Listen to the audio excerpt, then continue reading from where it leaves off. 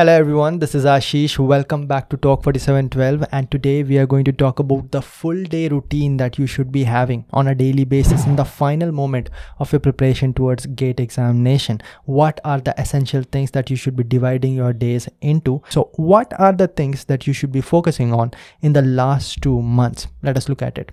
Revision, obviously, whatever you have studied so far that should be covered. Second one, syllabus completion true what is left that has to be done? I'm sure that everyone is not done with 100% of the syllabus by the end of november and only. Some portion will be left for all of you guys. And that has to be covered one by one as well. But i do understand that if you prepared smartly then it will be small subjects that are left which can be accommodated easily. What is the third one? Now this is the one that most people miss out the most. And that is the practice. You have to practice as much as you can. This is the final stage. And on the day of the examination this is what you're going to be needing the most speed and accuracy. And these are things that can be definitely improved in the last moment as well.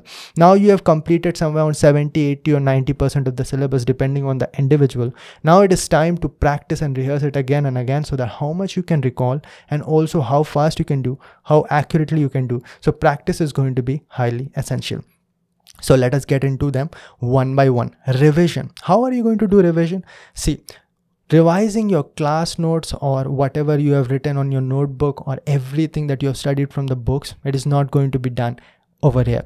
Throw them th uh, throw those things away. You are going to be only wasting time using that. If you have to do it you have to stick to the short notes so that revision is quick. You have to revise mostly using the subject wise test series. So if a particular subject you are weak at or you want to revise it revise using micro notes short notes and then give the test series and then find out the weaknesses and only revise that part. If needed then you can go back to your class notes or you can go back to the books that you use to study. Other than that you have to use the time very efficiently over here. This is where most people mess up. So if you want to revise everything that you studied over here 100% with 100% efficiency you won't be able to do it. Nobody will be able to do it. So if you want to do it properly then you have to do it systematically. You cannot go for every topic to the books or the class notes. You have to stick to the portion that is weak and that can be found out using the subject wise test series. And the subject wise test series basically i'm talking about cyclic revision about which we have talked about somewhere around two to three months ago as well. So if you are talking about revision then that is your revision revising the weaknesses and whatever is strong you do not need to waste time over there. Now second form of revision is highly important and that is revising your micro notes so micro notes will be consisting of important formulas or things that you can easily forget but still is very important for your day of the examination. So those will be written in let us say 20 to 25 pages and that you will be revising on a daily basis. It will be taking somewhere one to one and a half hour every day and you have to invest that much amount of time whether invest it on the morning or invest it in the evening or in divide it like morning i'll be investing somewhere around 45 minutes.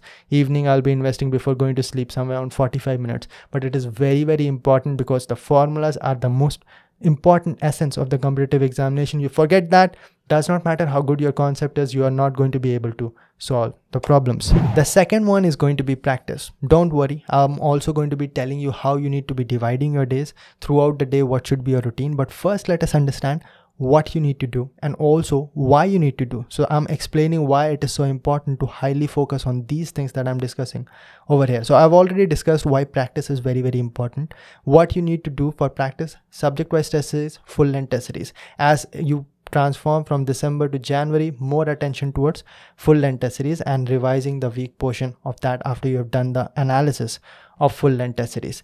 Also for core branches, you will be having engineering services previous year question and ISRO previous year question. Now it is time for you to start solving them if you haven't. And my God, if you haven't solved GATE previous year questions, then you should not be appearing for GATE examination. So if you haven't, that is the first thing you do. But for the most more serious students, if some of the engineering services previous year questions, which are portion uh, which is coinciding in syllabus when it comes to gate examination then definitely solve that. For example mechanical engineering heat transfer thermodynamics fluid mechanics if any portion is left use that. That is also acting like a practice only. Why?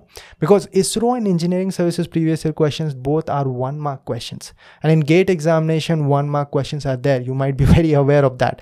And people who are very good in solving one mark questions quickly and accurately they get a lot of time in solving two marks question and that creates all the difference. So you should be getting practice from that as well. If all the engineering services isro previous year questions are done then you can just you give more and more test series then maybe you can give test series of two different coaching institutes all right? So practice you have to do a lot and i would say somewhere around 60 to 70 percent of it of your time daily should be invested towards practice because that is what you're going to do.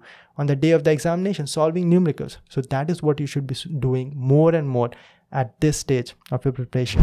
Now the third one is going to be syllabus completion. Now syllabus completion of the minor subjects that are left, you are going to be doing that slowly and slowly but you have to complete it by december favorably because in january you will be investing more and more time towards a revision. So let us say there's somewhere around 20% syllabus remaining then you'll have to divide that some part during the day. Now you have understood what are the different things that we are going to be doing. We are going to be practicing revising and completing. Now how do we divide a particular day let us see. The first thing that you do in the morning is revising the micronotes. Then the second thing that you do is give a test series favorably. Now I'm not saying that give test series every day, but if you have planned a test series on that particular day, by the way, I've talked about what should be the frequency of test series in a previous video. But if you have planned a test series on that day, try to give it in morning. Or if you have already gotten the slot of your examination let us say evening shift or morning shift and give in that particular uh, shift or whatever is the time in which you're going to have the final examination. So that part is fixed. How much time is it going to take? Three hours. Let us say we are having 12 hours throughout the day apart from all the daily chores and all. Three hours is gone. Now we are remaining with 9 hours. 1 hour let us say 2 hours and invest is invested in revising the micronotes now we are remaining with 7 hours what are the other things that we have to do test series analysis that will take somewhere 1 to 2 hours more now we are remaining with 5 hours 5 hours what are we going to invest in revising and practicing. Practicing is done by test series only on the day of the test series. Other days you can do other things that I've already mentioned. But remaining five hours you can invest in revising. So revising what we have to revise, we'll find out using the test series that we have given. Whatever is the weakness, you have to revise that. And now it is no longer the time that you are going to revise today, then after one month and you're going to have a proper plan. Now you have to revise whatever is weak for you. And that is what you're going to be investing a lot of your time in if your subjects are very good then you can give some more time towards practicing practice more give more test series if a subject is not that bad but was just a little bit bad because you forgot about few things no need to revise a lot of that subject but give another subject wise test series so you can improve much more faster and this is the way how you'll actually find improvements while you're giving test series in the final stages otherwise most people see a downward spiral that their marks is either stagnant or it is decreasing to the point at which they just give up and they just stop it and they are going to say that I'll see what happens on the day of the examination. So we do not play like that. So that's about it guys. I'll see all of you in the next one. Till then, bye.